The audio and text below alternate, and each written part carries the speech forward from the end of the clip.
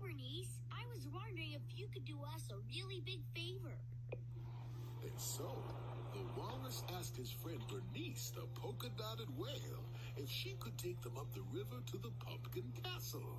Thanks, Bernice. Oh, anything to help a friend. To the pumpkin castle.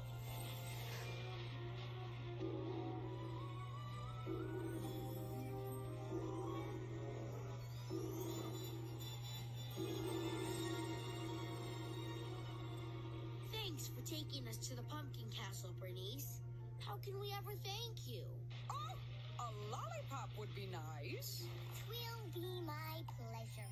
Twinkle, dinkle, zippity loo. Thanks, friend.